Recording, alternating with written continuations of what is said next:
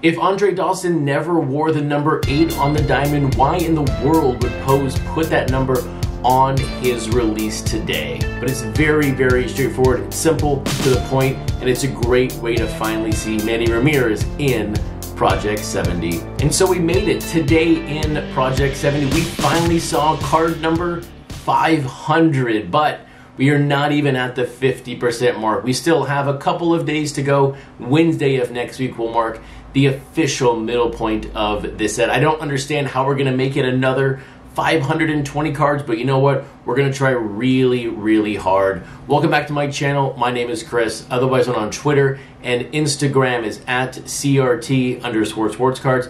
And of course, my website is where you want to go for everything related to Project 70, and that is simply CRTsportscards.com. It is also Friday, which means it is now time for you to vote for your favorite week number 28 card. What we're looking for here is for you to go to the website and vote for your top five cards. Let's take a look at where the rankings are at this moment from the voting that opened up this morning. And yes, that font is very small, but I wanted to fit all 20 cards on the screen at one time. But leading the way after this morning is Ermsy's Shohei Ohtani, right now garnering 15% of the vote with 29 total votes. Second is that Chuck Styles Shohei Ohtani with 25 votes. Third up here is a card that released today. It is going to be Mickey Mantle by Fucci, and they are tied with the Shohei Ohtani by Matt McCormick. So thank you for everyone who has voted so far, and if you've not, of course, go to the website. It's going to be very interesting to see who comes out on top. Will Shohei take all three spots, or will there be a card this week that beats a Shohei Ohtani? And now, also on that voting page, I've included a brand new box, a place for you to sound off. I want to hear your thoughts about this week. It could be about anything. It could be about the website, it could be about your favorite card, or maybe a card you didn't like. I want to get some more feedback, some more knowledge from everyone who is a big fan of this set overall. But there was a comment today that I really, really liked. And it was it was around the fact of, hey, show the cards you get in the mail. I don't buy all the cards, but I want to see the ones that you get in the mail. So I said, you know what? Let's go and show the four cards that I've received this week from Project 70, along with Naturel's recent companion card. So this is, of course, the recent companion card from Natural. It was all a dream. And now if you look at the stadium lights in the background, it's more prominent in the parallel, but there is that number 23. So we believe this is the companion card for Fernando Tatis Jr. And then the night game parallel, the odds were one out of every four cards were going to have that parallel. I only ordered two, so I was very thankful to hit that parallel. But here is the night game version of that card. And you're going to see that 23 is way more prominent in this version. And now those companion cards from Naturel are on thin cardstock. They're not as thick as Project 70 cards, but the really neat thing when it comes to those companion cards compared to his Project 70 cards, the Project 70 cards are going to connect left to right in that 20 card mosaic. These cards connect on the back. But now moving on, of course, to the actual Project 70 cards. Which four cards did I get in the mail this week? Leading us off is going to be the Juan Soto by Crayola. And so the wood background here of the 1962 Topps card stands out very, very well. And there's that blue animal, I can't remember the name, but that appears when there is a home run in Crayola's cards. Second up here is probably right now the most famous no hat card out there in Project 70. It was also a base card that was selling for like $90 before the card was released. Who knows what it's selling for right now? The print run is very high. I believe it's over 3,000, but here we have Jonas Never, Joe Kelly. And of course, the image in the background that MLB would not let Jonas Never use in the card, so he covered it up with the G. And then third up here, this one is for my Ichiro collection. This is the 1953 Topps Ichiro by Toy Tokyo.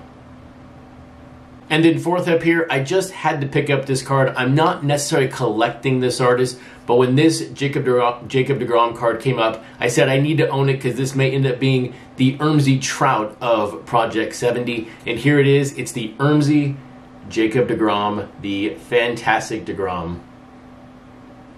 So we'll see what cards I get in the mail next week. I'll show more on Friday, but also if you get mail days on and you're on Twitter and you're on Instagram, tag me in all your posts. I'd love to see what you guys get in the mail every single day from this set. But now let's get back on track here a little bit, but also on Twitter today, Anthony Ranaudo, I think that's how you said the name. He's got a blue check mark. He used to play Major League Baseball. Tried to say that he was probably the biggest Project 70 fan out there. I think a few of us out there have him covered. So if you're not following him on Twitter, check him out. I retweeted his post today, but it's great to see someone else who's not really a fan of baseball cards, but fan of art and the culture that these cards bring us every single day of the week. But now let's talk about the cards that released on Friday. First up, we have that Andre Dawson by Pose. Second up, we have the Yankees team card. Man, there's a story behind this card. This time from Efdot. We also have Mickey Mantle by Fucci. And then ending the day is going to be Vladimir Guerrero Jr. with his dad, and this time designed by Keith Shore. And now somehow, every time I wear this shirt, there ends up being a card with pink in it. I don't do it intentionally, but it happened, I think it was last Monday show, I had this shirt on. And of course, today we have that Vlad Jr. So let's go ahead and talk about that card from Keith Shore. The inspiration from this card is the show from many, many years ago. I'd actually forgot I watched this show as a kid, but it's My Two Dads. And so if you've not seen that show, and look, it's been decades since I've seen that show, you're not really going to understand the reference. And even though I watched the show, I'm kind of a little confused as to why the Mikkeller beer guy is on the card with Vlad Sr. He is in an Expos uniform. This is, though, not a dual card. This is a Toronto Blue Jays card mixed in with the Expos. It's cool for all of our Canadian collectors to have both teams on this card. But here's the neatest thing about this card. This is the 11th card from 67 Topps. This is the 11th Vlad Jr., and this is Keith Shore's 11th card overall. So 11, 11, 11 on this card. And so while we're on the topic of 11, if you count the blob on Efdot's Yankee team card, you get 11 players on that card altogether. But this card, in a standalone format, if someone comes into Project 70 in six months and looks at this card, they're going to be like, Efdot doesn't know what he's doing. This card doesn't make any sense. I'm a Yankee fan, and yet you've got Gerrit Cole and DJ LeMahieu on it. This is not the legends of the Yankees. But here is the thing with this card. This was originally the Field of Dreams card that he was going to release, talking about the game in and of itself. But of course, MLB, Topps, they did not have their ducks in a row, and all of those cards got scrapped, other than Keith Shore's card. But now, thankfully, Efdot was able to retool the card, remove every single reference from the game out of this card, which must have just been a painstaking ordeal to get this card approved. But here it is. We have the second team card in the set. The very first one, of course, was the Padres by the Sioux Surgeon. Now we have the Yankees team card. So you're always going to have to explain this card to someone who comes in new to the set because some of the faces on there do not make sense, but the card as a whole, as part of this monster of a set, makes complete sense. But while we're on the topic of making a card make sense to either a new fan or an older fan, I think we might as well go ahead and dive into the Andre Dawson by pose. This is Andre Dawson's second card in the set. Of course, the first one was the one released by Mims Bands. But here is the thing with this card. It is great to have an Expos player on the front, although this card in the gallery on the website will fall under the Nationals. I probably should go back and change that, but we'll see how I do in the coming weeks when it comes to splitting out all of these teams. But here is the thing about this card. It has the number 8 it also has the word awesome on it. And a lot of you on Twitter and on social media said, this card doesn't make any sense because Andre Dawson never wore the number 8. But remember, art at times is not meant to be taken literal. If you look at the card, what does awesome in 8 represent here? In my mind, and to me, what it represents is the fact that Andre Dawson is one of only eight players in the game of baseball to hit 300 home runs and also have 300 stolen bases. So to me, Pose is telling us that Dawson here is a member of the Awesome Eight.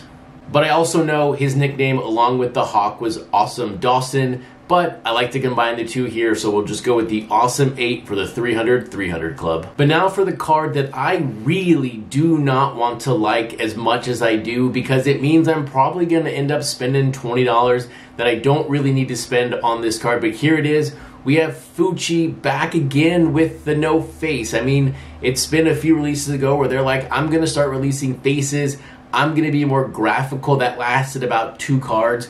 But here it is card number 500, Mickey Mantle. But this card, when you mix in 53 Topps, this is just a classic looking card. This is classic Fucci. This is a really, really cool looking Mickey Mantle. I don't know if the fans are going to like it, but for some reason, for me, this really harkens back to his beginning days of Project 2020. And I think he just nailed 53 Topps, and he nailed the spirit of Project 70, which is celebrating the years and the rich history of Topps.